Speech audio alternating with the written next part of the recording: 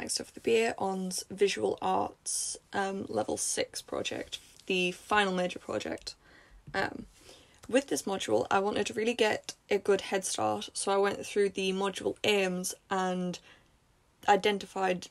exactly what they kind of meant, analysed them, and created a plan of how I will actually hit all of those aims um, just to ensure that I get the best grade that I can.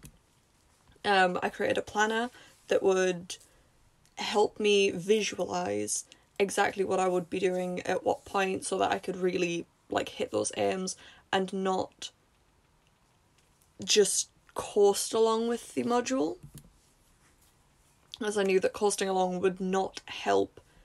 at all with me being able to achieve the grade that I really want. Um, I looked at potential ideas for it. I had about four um, potentials that could possibly um, be turned into a full project. I didn't end up going with um, a lot of them, to be honest. I kind of took the ones that I liked and edited and tweaked them and ended up choosing a video game style um, module or project, even, um, that would be turned into a Kickstarter um, campaign at the end of it, just based solely on the fact that I it's something that I have a personal interest in outside of um, university and education, but it didn't seem like so much work that I couldn't get it done.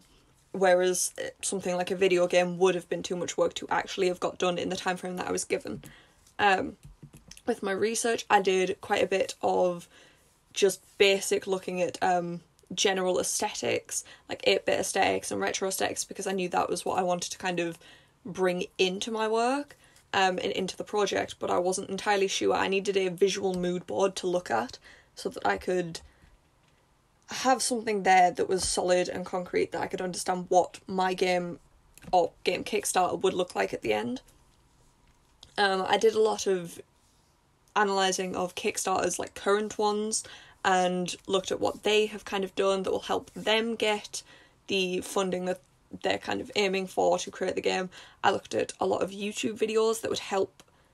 me personally to understand what I was trying to do, like with character design, um, and creating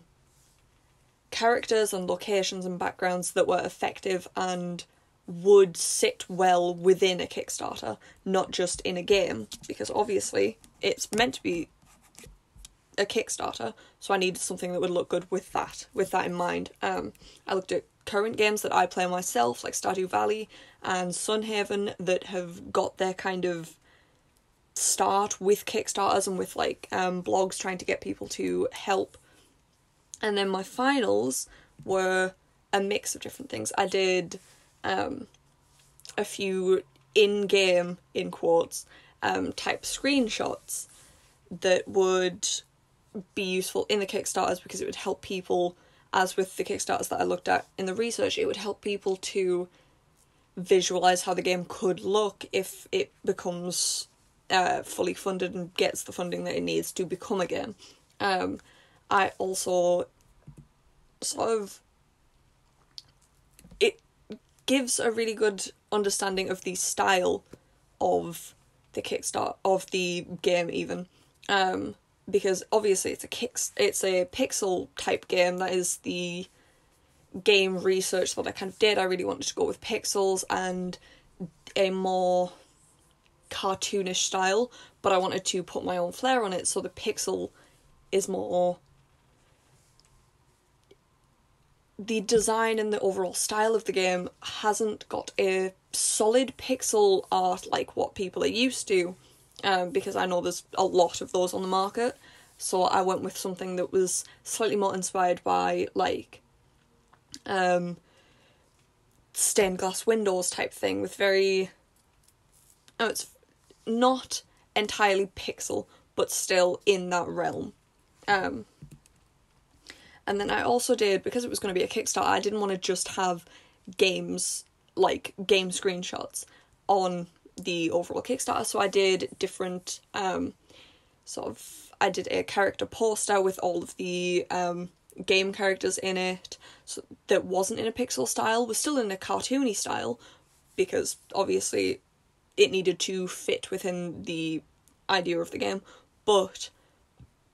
I wanted it to look more like maybe something you would see on a game cover um something that you would see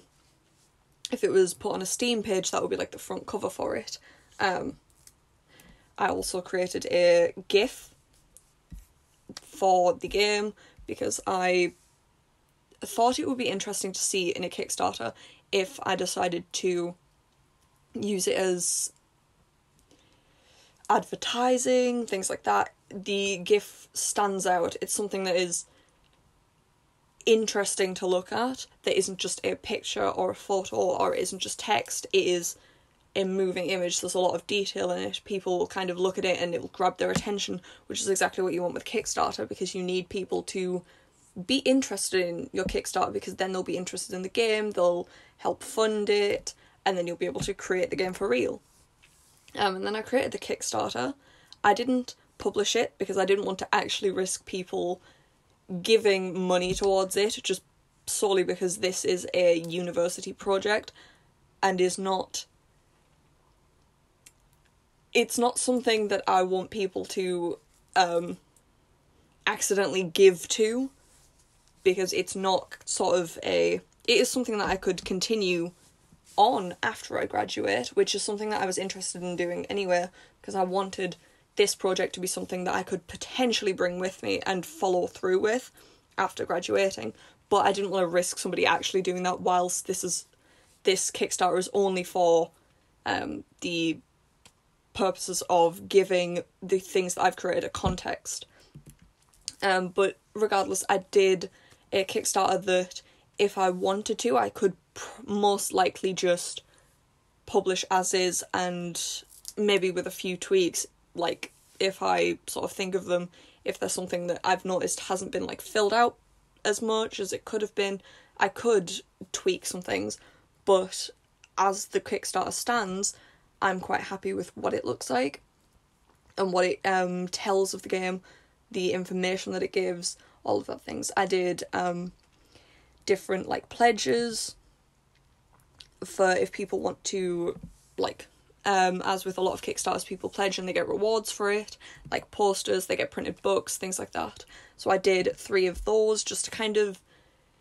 give slightly more um information to the Kickstarter, like overall. Um, I used quite. I used. I used a lot of the art that I'd created, but also went with a few different sort of um, things with it. I didn't include the GIF, as it did not work properly for me. Um, it wouldn't load up onto the Kickstarter properly no matter what I tried, it just would not actually um, work, which is kind of disappointing. But I can put that into a YouTube video instead and upload it that way so that it's still visually there. Um, and I do have at the end of the Kickstarter itself, just in case I did publish it, a paragraph that says who I am, what I'm doing, and what the purposes of the, this Kickstarter is. Um, and then I've got a few unused finals like um, characters that are hidden in shadow kind of thing so that there's options open and available to me if I want to continue with this on. But I think if